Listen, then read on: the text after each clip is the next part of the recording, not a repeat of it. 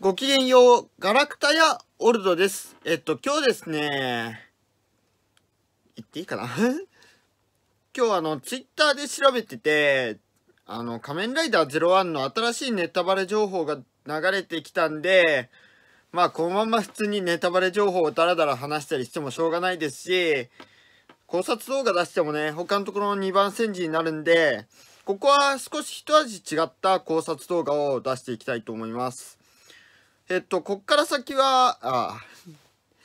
注意です。こっから先は、01のネタバレ情報を含みます。うちの動画のスタンスとしては、画像は出しませんが、名前すら聞きたくないという方は、そのまんまブラウザバックをしてください。3秒ほど待ちます。3、2、1。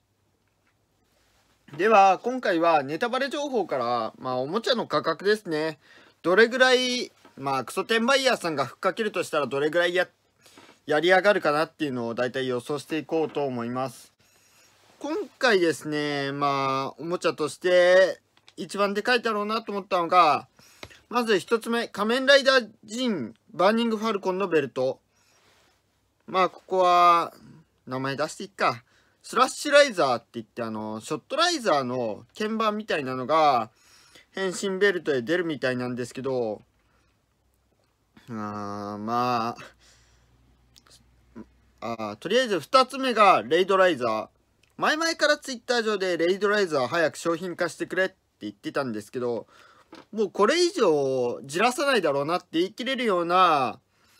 ネタバレ情報を見たんできっとレイドライザーは商品化するだろう。商品化するとしたらどういうようなラインナップで商品化してくるかっていうのをまあ簡単に予想していこうと思います。3つ目が仮面ライダーバルカンのパワーアップアイテムですね。これに関しても結構派手なネタバレ情報が出てて、発売日と発売価格まですでにもうバレちゃってるんで、これを元に話していこうと思います。じゃあまず1つ目、スラッシュライザー。今回な、思うところがあってですね、今回。変身者仮面ライダージンだけじゃないんじゃないかなって、あえて言いませんけどね、こっからは。発売日が、仮に仮面、テレビ放送で仮面ライダージンと合わせてくるなら、2月の29日に発売するはずなんですよ。まあ例外としてメタルクラスターが初登場から1週間後に発売されたんで、もしかしたらそれもあるのかもしれないんですけど、それにしても発売日情報が遅すぎると。で、うん。変身者がジンだけじゃなくて、滅びも変身するとしたら、プログライズキー2種類出てきますよね。で、2種類特別なプログライズキーを作って、で、滅びの方のプログライズキーだけ、普通に一般販売するかっつったら、やらねえだろうなって思ったんですね。まあ、こん、この2つの根拠。発売日が明かされてない、滅びの方のプログライズキーを一般販売しねえだろうっていう2つの根拠から、プレミアム版代価を予想します。えっと、価格としては、ショットライザーの一般販売価格がだいたい5000円ですから、それプラスプログライズキー1個でだいたい7000円。送料含めて8000円ですかね。プレミアムバンダイにて8000円で販売すると読みました。スラッシュライザーは。で、8000円なら、1.6、えー、1.75倍か。1.75倍がけして、1万4000円で売ってくるだろうと、クソ転売ヤーさんはですね。えっと、絶命ライザーの時点ですでに1万円つけてるんで、まあ1万円じゃ歯止め効かないだろうなって。で、1万2000円でどうかって言われたら、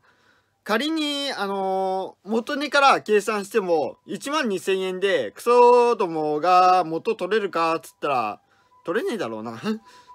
で、元取れる金額っつったら1万4000円ですね。まあ、あくまでこれは俺の予想なんで、そこまで、あのー、鵜呑みにしないことをお勧めしますけど、というわけで、スラッシュライザーの定価は、プレミアム、プレミアムバンダイにて8000円と読みました。次ですね、レイドライザー。考えますよね、レイドライザー、そりゃ。絶対レイドライザー買いだと思い思いますよ。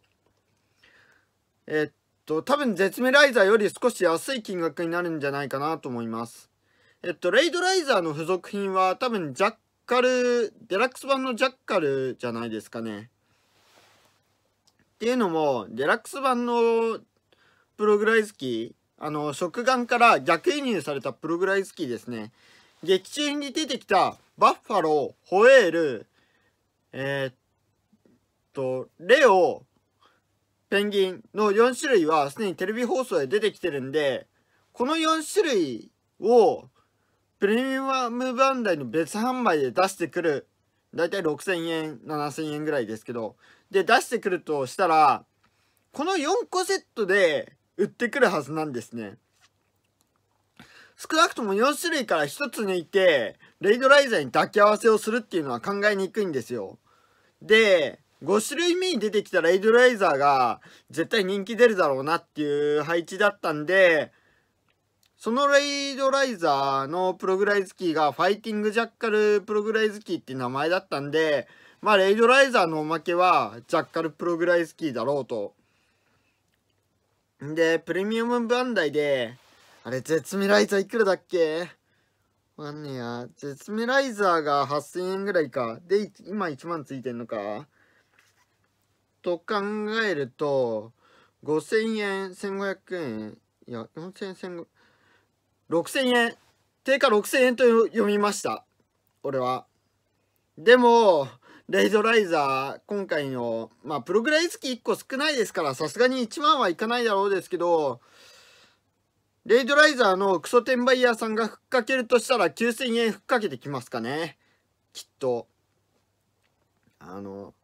ジャッカルの人気がすごいことになりそうなんだよな。っていうのを考えると、まあ、そうですね、9000円が妥当ですかね。で、最後ですね、バルカンのパワーアップアイテム。ランページガトリングプログライズキーですね。あの、そもそもこれ、もともとネタバレに触れちゃうんですけど、ランページガトリングって、10種類のプログライズキーの能力使って、で、なりきり遊びができるっていうおもちゃなんですよ。あ、価格と発売時期言っておきますね。ランページガトリングは3月下旬発売で価格は3200円の税別。えっと、税込みで3520円になります。えっと、とまあこれで10種類のプログライズキーの力を引き出して戦うっていうやつの完全再現をするとしたら、すげえ安いなって。すげえ3500円でこんなてんこ盛りな遊びできちゃうんだって。いうのを思いましたね。思えばこれプラス500円ですよ。そう考えたら安いですよね。定価で買えれば。さあ、こっからね。いやー。ざっけんなって言いたくなるよな。というわけで、まあ、クソ転売ヤーさん今回も暴れますでしょうね。ランページガトリング6000円つけるんじゃないですかね、今回。あの、これでさえ5000円つけたんですから、ランページガトリング平気で6000円ランページガトリング平気で6000円つけると思いますソどもは俺は絶対やらないけどな。自分で遊ぶ分しか買ってねえし、そもそも転売する分まで金がねえ。まあ多分ランページガトリングは6000円つけられるんで、まあ発売日当日におもちゃ屋さんに並びましょう。おすすめは山田電機です。あそこ安いですから。まあ、というわけで、今回は、えっと、ネタバレ情報から、まあ、プレミアムバンダイ、プレミアムバンダイで発売されるであろうおもちゃの価格と、あと、ランページガトリングのクソ転売ヤーさんどもがいくらまでふっかけるかっていうのを考察してみました。えっと、特に字幕なしでずっと話してきましたが、まあ今回の件で、何ですかね、スラッシュライザー、プレミアムバンダイ化したらふざけんじゃねえとでもバンダイに送っといてください。えっと、今回の件について、まあ、今回のネタバレですね。まあ、いくらぐらいが相場かとか、そういうことについての意見があれば、コメント欄にて愚痴ってくれると嬉しいです。では、最後に一言だけ。悪意あるクソ転売ヤーども俺が一匹残らず破壊する以上です。ご視聴ありがとうございました。